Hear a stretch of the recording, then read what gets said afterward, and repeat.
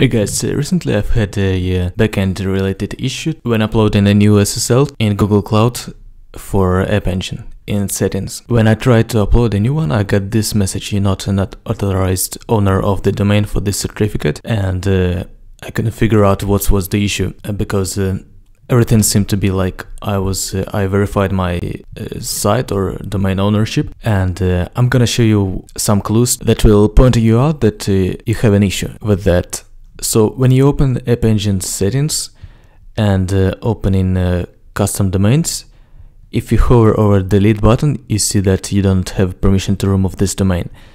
This means that, uh, yeah, the message says here, which means that I'm not the owner of this domain. And now I'm gonna show you how can uh, we fix that.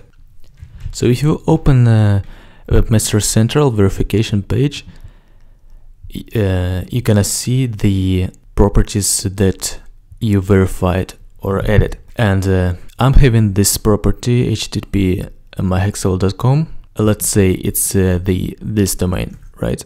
So everything seems to be verified. I'm having my domain in the Webmaster Central, but still I'm not an owner of uh, this domain in uh, Google Cloud. And the issue here is that how you verify this property. So when you edit, you could have added a your website via just domain name but uh, from what you see here it adds the http in the beginning anyway. And uh, there are two different types at least that i know for google property verification. One is site and another one is domain name and depending on which type you, of verification you choose you determine which one is gonna be. So if you choose uh, some of those uh, like html tag or maybe uh, those you'll have a site verification ownership. But to be a domain owner you need to select this one and uh, select uh, one if of those if, if you have uh, any of those as your domain name providers or if you don't see any here just choose other and follow those instructions so you need to open your domain name provider and uh, just add this uh, string as a text record to DNS.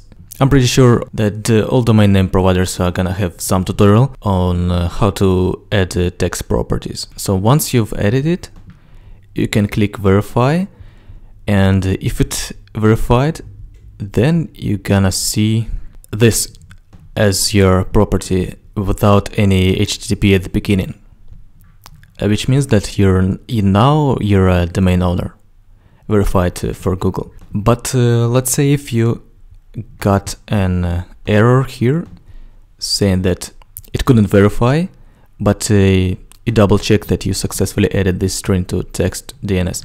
Then you can go to this website and double check if your if this uh, text property is uh, live by entering your domain name. And uh, look in here for uh, this string. If you see it here and uh, Webmaster Central still failed it, then it means that Google is using some cached uh, DNS and you need and you can manually flush it by going to this website. All the links I'm gonna save in the description and uh, selecting text type and entering your domain name. After it's flushed, you can uh, click verify again and uh, most likely it will verify you as a domain owner. And that's basically it. So once again, if you see your website domain in Webmaster Central as uh, appended with uh, HTTP or HTTPS, then it means that you're a site owner, not a domain owner. And if you see just the domain name itself, then it means that you're a domain owner. And now you can uh, upload SSL certificates here from the selected Google account that you logged in in here. Right, all the links you can find in the description and click like if you liked it, uh, subscribe, and I'll talk to you later.